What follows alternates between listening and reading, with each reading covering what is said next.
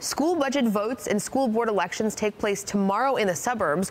One of the heated races is in West Seneca, where a candidate for the school board is also a student. News 4's Jen Schanz spoke to him and his dad. Jen? Nalina, Matthew Poole joins seven other candidates on the ballot tomorrow. They're vying for three available seats on the West Seneca Central School District Board. Poole is just 18. The West Seneca East senior says it was his sophomore year when he started considering a school board run.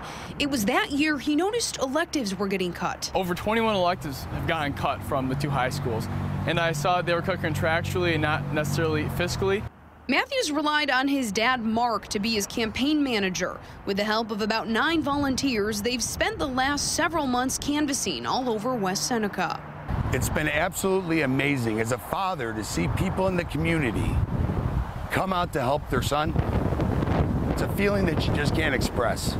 Poole supports term limits for board members and wants to reevaluate school-related taxes. Bringing a student perspective to the board is a huge thing, and so is reviving cut classes. Residents will also weigh in on the district's proposed $116.8 million budget, which ups the tax levy by 1.6% and also includes more than half a million dollars from the district's capital reserve to purchase new buses.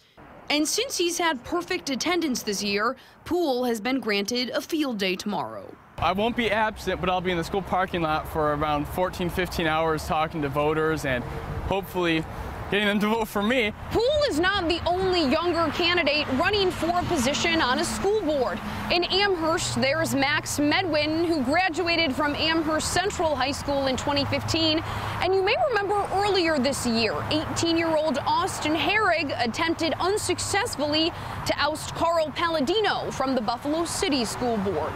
Reporting from West Seneca, Jen Schanz.